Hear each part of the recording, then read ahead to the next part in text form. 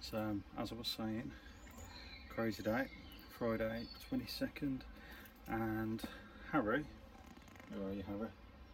Here he is, has very kindly stolen, poached a, well, what he thinks are a couple of toys from, I think, a vole's nest. So there you go, these two little guys, Harry in the background. I'm not sure if there's a nest in here somewhere.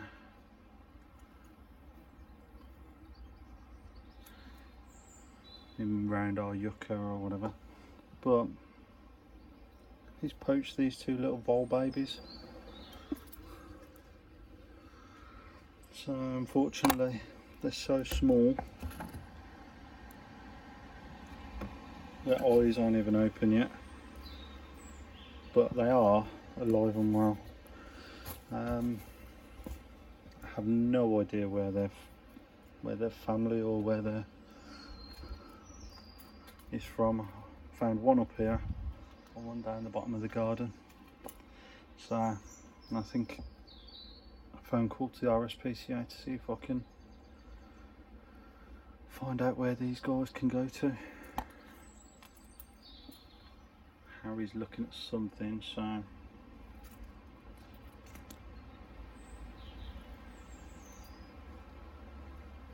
can't see anything. Harry. These two are not yours. Hmm. So it's going to be a case of grab Harry. Get Harry because he's trying to, I presume, find the rest of the family of voles. So these two are very much alive, but they're so young, their eyes aren't even open yet. I'm to see if I can get to an animal sanctuary. So I'm in the car. I'm to try and get these two little fellas. Oh, don't know if you can see. These two little guys to the animal sanctuary. Hopefully they're kind of snug together now. So hopefully Harry hasn't done any damage to these guys. They are moving and breathing and they're very cute. so fingers crossed can save him. Harry's also um, now in the house away because I got a feeling if he knows where the family is he may go for the rest of them. So let's drive to the RSPCA and see if I can drop these guys off. I believe they're not taking collections but I can't let these guys uh, just perish in the elements. They've got to have a fighting chance. So here we are guys. Um, we are at we are at uh, RSPCA Franklin. So it's COVID so they did say they can't bring any animals in but to be honest I can't take care of these guys. Uh, still very much alive and kicking and um, as cute as they are I don't think they'll survive with me as much as I'd like to try. So let's look at them hopefully and hopefully they'll um, survive their ordeal. So here they both are. What should we call them I reckon. Oh, I reckon the left should be Brian and right should be Jeremy, providing they're both boys.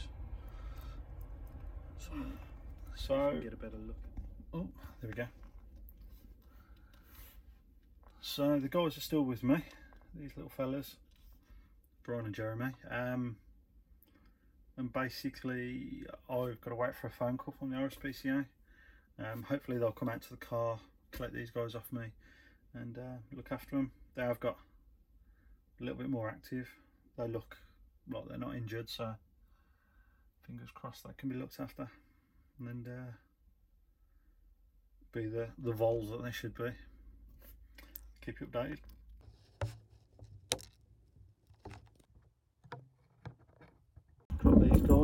See you later. Take care. So that's it guys. Little Brian and little Jeremy.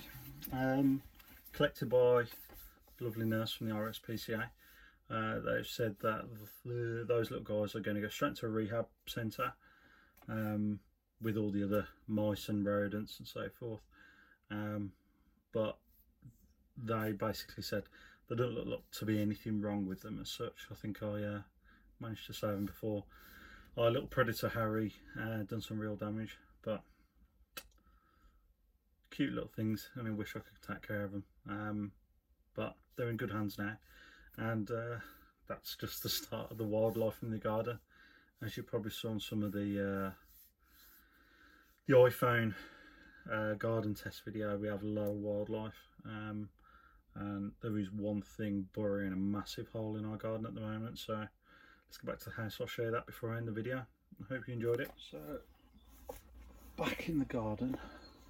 And as I said a bit more of a wildlife hunt. Does anybody know what has probably caused this?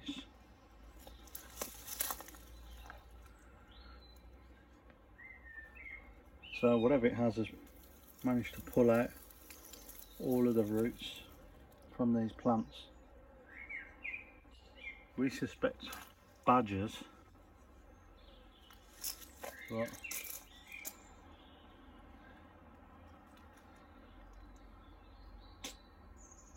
you can tell me. We do have a big wild woods behind us, but something strong enough to pull all the roots from the plants any ideas? a crazy day, but um, wanted to share that with you guys. The rescue of, I think they're voles. Um, and also, if anybody can work out the mystery of what's been digging in our garden, um, pulled all the roots out and started burrowing, so we know there is a badger sett behind us somewhere up in these these woods. But is it badgers? Foxes? I don't know. You guys tell us. If you like the video, subscribe, like uh, and comment. Thanks. See ya.